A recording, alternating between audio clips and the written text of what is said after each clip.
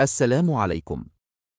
محاولة تهريب مخدرات تنتهي بالقبض على تاجر عملة في مطار القاهرة تمكنت الأجهزة الأمنية بقطاع أمن المنافذ من ضبط تاجر مقيم بمحافظة الدقهلية أثناء إنهاء إجراءات سفره على متن إحدى الرحلات الجوية بميناء القاهرة الجوي وبإجراء عملية التفتيش عثر بحوزته على مبالغ مالية بعملات أجنبية ومحلية و5.198 كيلو جرام من مخدر الحشيش مخبأة داخل إحدى حقائبه. بمواجهته، أقر المتهم بحيازته للمضبوطات. وجرى اتخاذ الإجراءات القانونية اللازمة وباشرت النيابة التحقيق. لا تنسوا الإعجاب بالفيديو والاشتراك بالقناة تشجيعا لنا لنستمر في نشر المزيد.